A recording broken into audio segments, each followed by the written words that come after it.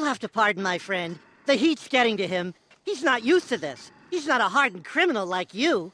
I mean, I shouldn't assume that you're a hardened criminal, but in my defense, you do have a Neanderthal shaped head, which I normally equate with stupidity. Uh, not that you're stupid, I-, I just mean that you look stupid. I don't mean that as an insult. I mean, some people say stupid to mean cool, like that's a stupid car, you've got a stupid apartment. I wish I could stop talking.